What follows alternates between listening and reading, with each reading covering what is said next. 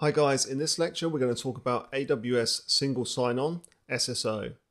AWS SSO is a relatively new service and I believe it's going to start appearing on the exam more this year.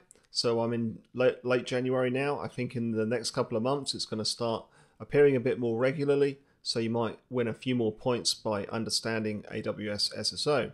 So before we get started talking about the actual service itself, let's just explore what SSO is all about. So the point of single sign-on is that you might want to have a single user identity, so an account somewhere, and through that single user account, you want that user to be able to log on to multiple services. So that might be multiple AWS accounts. It might be, you know, that they need to log on to GitHub and G Suite and Salesforce and so on. And you want that to happen seamlessly. You don't want them to have multiple accounts in different places, and you don't want them to have to enter passwords repeatedly. So that's what the point of SSO is. And that's what single sign-on service through AWS actually does. Now the identity sources can be in AWS SSO itself. So the user accounts can be created here. Or you can create your user accounts in a source like Active Directory or Azure AD. So these are both Microsoft Active Directories. One's obviously managed on Azure, one's actually managed within your data center on premises, most likely. And in both cases, you're self managing in terms of creating your own users, your own groups, and your own policies. Now, I think most of the time people are going to be using Active Directory. A lot of organizations use Active Directory, and those organizations might want to just have their users created in one place. They don't want to have those users having accounts all over the place it becomes more complex, governance becomes more difficult, which means security can be a bit more of an issue as well. So they prefer the user accounts to be all in one place and they want to enable it so that those users can then sign into the single sign-on service once and access different AWS accounts and access other business applications as well. Now there is quite a big list of built-in SSO integrations. This is just a few of them on the page here. There's many more I'll show you in the console. But basically this is what it's all about. So this is what single sign-on service does and integrates with Active Directory and integrates with services using SAML 2.0. That's what you would use for Azure AD. So let's just look at a bit more background SSO makes it easy to centrally manage access to multiple AWS accounts and business applications so that users have a single sign-on access to all the assigned accounts and applications from one place. You can easily manage SSO access and user permissions to all of your accounts in organizations centrally. And SSO configures and maintains all the necessary permissions for your accounts automatically so it doesn't require any additional setup within the individual AWS accounts. You can assign user permissions based on job functions and customize these to meet your specific security requirements. So, so it's very flexible. It's up to you to define how your users are able to log on to different services. Now there's also those built-in integrations and that includes things like Salesforce, Box and Office 365. So you can also create and manage those identities within SSO or connect to Active Directory or Azure AD, as we covered before. It's also integrated tightly with AWS organizations, which means you can select one or more accounts within an AWS organization and grant users access to those accounts. So it doesn't have to be all accounts, you can select which ones within the organization.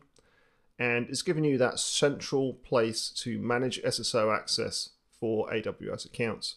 Now, as we said before, it creates its own directory, so it has its own directory within SSO where you can create users, and you can also apply groups within SSO as well. Or alternatively, and most likely, you're going to use something like Microsoft Active Directory Domain Services. And for Azure AD, it's using security assertion and markup language, so SAML 2.0. That's what you use to connect to Azure AD. What I'd like to do now is take you to the AWS Management Console. Now, we're not going to build out a configuration. Clearly, you need third-party business applications. You also need multiple AWS accounts or organizations. And that's quite complex, difficult for you, difficult for me as well. But what I do want to do is just show you around the console so you understand it a bit better.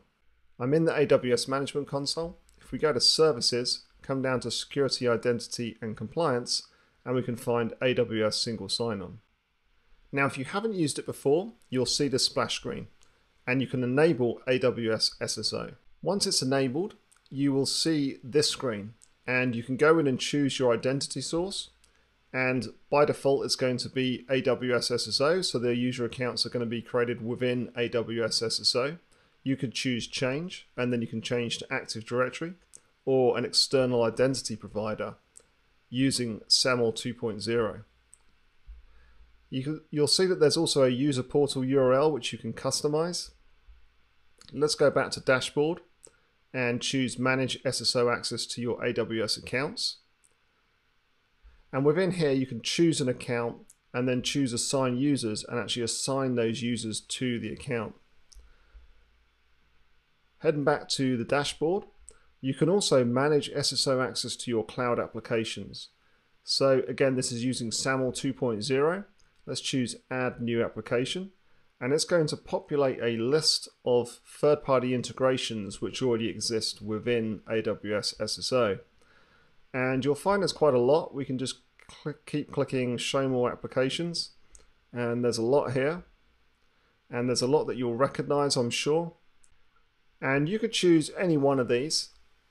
Let's choose Confluence for example and click add application and then you'll see that you get some metadata information here for SAML and you can actually download this metadata file and then you need to configure some information about your application so you need an application SAML metadata file. Now clearly we don't have a application that we can integrate right now, so I'm just going to choose cancel. And if you go back to applications now, you'll see you've got this Confluence. You can easily just remove that. And so there's lots and lots more applications. They're built-in integrations. So you just need to be able to fill out those files, have the right information available, and then you can connect those applications to AWS SSO quite easily. So that's it for just a quick overview in the console. And again, I think what we've covered is enough for the exam. There should be a few questions popping up. It will just be about understanding what AWS SSO is and what the likely scenarios are. So the key scenario for the exam is going to be that a company has their own identity source, so it's probably going to be Active Directory, and they want to be able to configure some kind of single sign-on to multiple AWS accounts, how do you do that? And the answer is going to be AWS SSO. Now to remove our configuration, you can go to settings, come down here and just choose delete AWS SSO. Select all of these and then choose delete and that will just put it back to where it was. So that's it for this lab guys. I hope you enjoyed it.